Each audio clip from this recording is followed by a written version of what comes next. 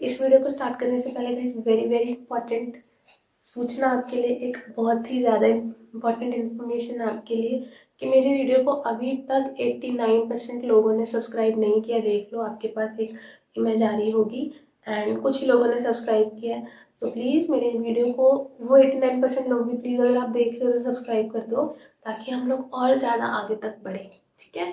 So now you can watch this video hello guys welcome back to फिजो की life और finally हमारे हज़ार subscribers पूरे हो चुके हैं, वन के सब्सक्राइबर्स एंड ये हो सकता है किसी के लिए छोटी सी अचीवमेंट हो कि क्या हज़ार ही तो हैं बट मेरे लिए बहुत ज़्यादा बड़ी अचीवमेंट है, क्योंकि मैं इस चैनल को लेकर बहुत बहुत ज़्यादा पर्सनल और मतलब कहते हैं जिसको कि इमोशनली बहुत ज़्यादा अटैच हूँ.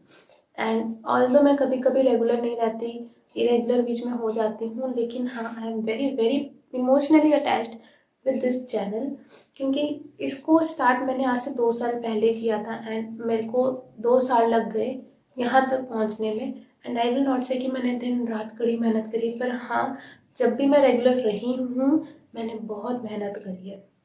बहुत ज़्यादा। क्योंकि उस टाइम पे कोविड का टाइम था जब मैंने ये स्टार्ट किया था। कोविड अनलॉक हो रहा था बेसिकली लॉकडाउन ख़त्म हो रहा था जब आ, मैंने ये स्टार्ट किया था उस टाइम पे। एंड उस टाइम मुझे कुछ मन में था कि कुछ करना है। मैं ऑनलाइन टिकटॉक था जब पहले, तब मैं रेसिपीज़ की वीडियोस बहुत ज़्यादा पोस्ट करती थी टिकटॉक के ऊपर। आप सर्च भी करोगे, अगर कभी कभी भी वो रिन्यू होता है, हो सकता है किसी ने भी देखा हो तो ट्विस्टी फ़ूड के नाम से मेरा चैनल होता था। मैं वहाँ पे अपनी रेसिपी वाली वीडियोस बना बना के शॉर्ट वीडियोस अपलोड करती रहती थी। एंड उस पर मेरे मेरे को लगता है फाइव हंड्रेड फॉलोअर्स या फिर शायद वन के फॉलोवर्स तो हो चुके थे उस टाइम पे टिकटॉक पे, क्योंकि तो उसके लिए तो बहुत छोटा था, पर मेरे लिए वो बहुत बड़ी बात है। एंड एक वीडियो मैंने पोस्ट की थी कोल्ड कॉफ़ी की एंड उसके ऊपर मेरे काफ़ी सारे व्यूज़ आ गए थे। कुछ सेकंड्स में जैसे पोस्ट की फ़ोन बंद किया, जैसे फ़ोन खोला, देखा तो उसके ऊपर के में व्यूज़ थे वन के या फिर टू के कुछ ऐसे व्यूज़ थे, बहुत ज़्यादा व्यूज़ थे, कुछ सेकंड्स के अंदर ही। एंड वो वीडियो ट्रेंडिंग में चली गई थी। एंड फिर उसके ऊपर, फिर तब मुझे बूस्ट अप हुआ कि वीडियोस पोस्ट करनी है वीडियोस पोस्ट करनी है, ऐसे करके। एंड मैं कोई कोई छोटी छोटी चीज़ों की, कोई रेसिपी की ऐसी वीडियोस बना के थोड़ी सी पोस्ट करती रहती थी। एंड फिर एक दिन टिकटॉक बंद हो गया। एंड फिर मैंने सोचा कि क्या करना है, अब बंद हो गया। एंड फिर उसके बाद पता नहीं कहाँ से आउट ऑफ़ समझे। मेरे पास आइडिया आया कुछ महीनों बाद, काफ़ी टाइम बाद बेसिकली यूट्यूब का। यूट्यूब पे वीडियो पोस्ट करेंगे। एंड अब यूट्यूब पे वीडियो पोस्ट करनी थी, मैं तो बहुत ज़्यादा नर्वस होती थी कि मैं अपना फेस दिखाऊँगी यूट्यूब पे। तो मैं दिखाती नहीं थी स्टार्टिंग की वीडियोस में। फिर मैंने रिलीफ फिजियो के नाम से एक चैनल स्टार्ट किया। हो सकता है आपको अभी भी वो यूट्यूब पे कहीं मिल जाए। और उसके ऊपर मैं क्या करती थी, अपने जो प्रेजेंटेशन बनाकर, अपने प्रेजेंटेशंस को एक्सप्लेन करती थी। जैसे सपोज़ अगर मैंने फ्रैक्चर के ऊपर एक प्रेजेंटेशन बनाई तो फ्रैक्चर की प्रॉपर एक प्रेजेंटेशन बना के मैनेजमेंट बना के उसको एक्सप्लेन करके यूट्यूब पे पोस्ट कर दिया वॉइस ओवर लगा के।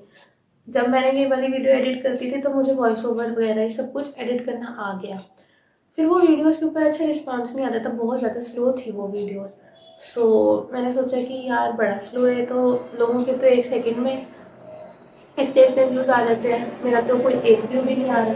तो फिर मैंने वो बंद ही कर दिया, क्योंकि उसमें मेहनत बहुत होती थी। पहले प्रेजेंटेशन बनाओ, इतने दिन लगा कर फिर उसको वॉइस ओवर दो, फिर उसको अपलोड करो, और रिज़ल्ट भी नहीं दिखता था, फिर मैंने वो भी छोड़ा। फिर ऐसे ही एक दिन मैं बैठी थी एंड मैंने सोचा कि यार एक वीडियो एक चैनल बनाएँगे फिजियोथेरेपी से रिलेटेड एंड उसमें ब्लॉग्स दिखाएँगे, कि मेरी डेली लाइफ कैसी है। Daily life of a physiotherapy student और वो मैं ब्लॉग्स बना के अपलोड करूँगी। हाँ लेकिन फिर, लेकिन ब्लॉग्स बनाओगे तो आप अपना फेस दिखाओगे। फिर मैंने कोरियन ब्लॉग्स को फॉलो करना शुरू किया, जिसमें वो लोग फेस नहीं दिखाते जैपनीज या कोरियन वो लोग अपना फेस नहीं दिखाते हैं अपनी पूरी लाइफ स्टाइल दिखाते हैं। सो मैंने कहा, ये तो बड़ा अच्छा आइडिया फेस पे नहीं दिख रहा, मैं भी ऐसे करूँगी।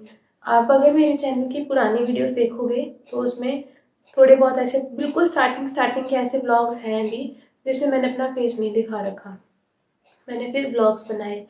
और फिर उसके बाद एक ऐसा ब्लॉग था जब मैंने सोचा कि चल फेस रिवील ही कर देती हूँ मतलब फेस दिखा देती हूँ और इंटरेक्टिव हो जाएगा। फिर उसमें मैंने मास्क पहना हुआ था हल्का सा कॉलेज के अंदर ही हल्का सा मास्क जो था, उसके साथ मैंने ऐसे वीडियो शूट की अपने क्लास में बैठ के एंड वो मैंने फिर अपलोड कर दी। फिर धीरे धीरे धीरे धीरे मेरे को लगता है मैंने एक प्रॉपर व्लॉग बनाया कॉलेज का प्रैक्टिकल से रिलेटेड था वो ब्लॉग एंड वो वाला ब्लॉग बहुत ज़्यादा अच्छा रिस्पॉन्स आया उस पर एंड धीरे धीरे धीरे धीरे धीरे धीरे ऐसे ही चलने लग गया सब कुछ. फिर बीच में विंटर्स के टाइम पे दोबारा से कोविड आ गया था. ओमिक्रॉन शायद से जब थोड़े टाइम के लिए लॉकडाउन वाला फ़ेज़ चला था.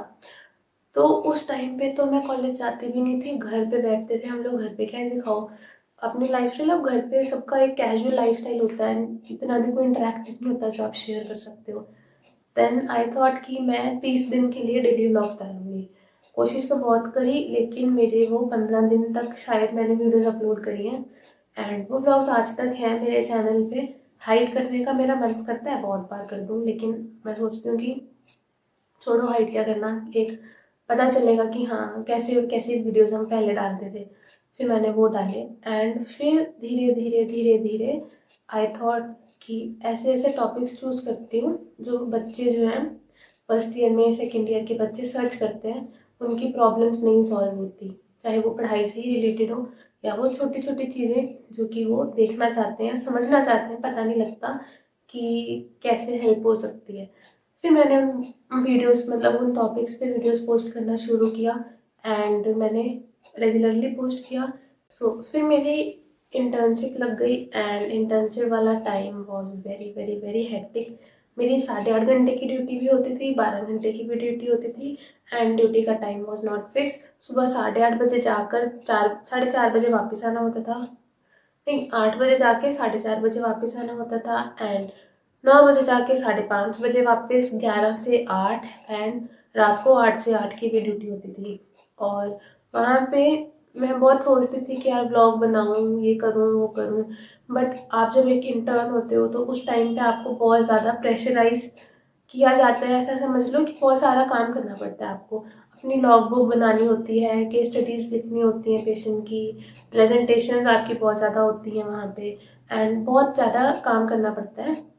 ए इंटर्न घर आके भी आपको यही होता है यार की स्टडी बनानी है पेशेंट की एंड लॉग बुक लिखनी है मुझे मुझे अपना प्रेजेंटेशन बनानी है।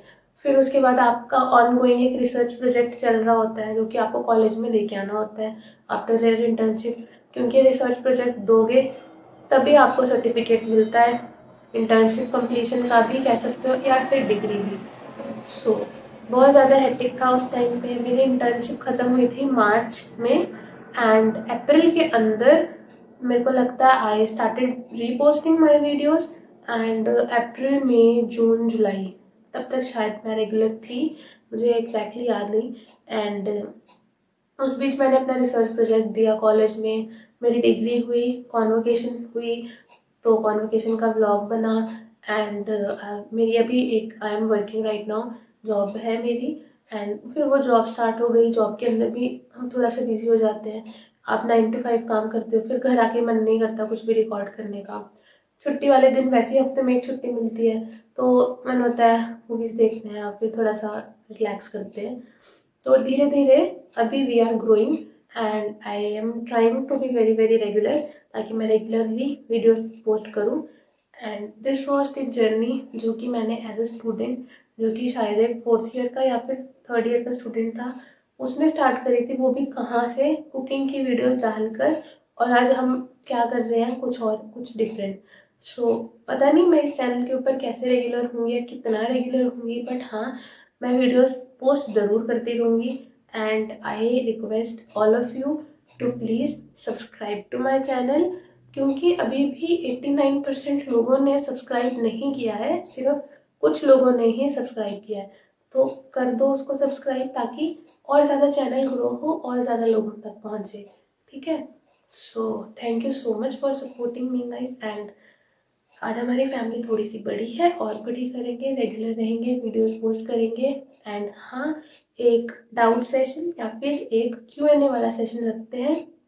इस वीडियो के बाद, इस वीडियो के नीचे आप अपने डाउट्स अपने क्वेश्चंस मुझे भेज सकते हो। ताकि अब मैं जब नेक्स्ट वीडियो रिकॉर्ड करूँ तो मैं ये वाली वीडियो रिकॉर्ड करूँ जिसमें मैं आपके क्वेश्चन और आपके डाउट्स डाउट्स को आंसर करूँ। ठीक है? Till then bye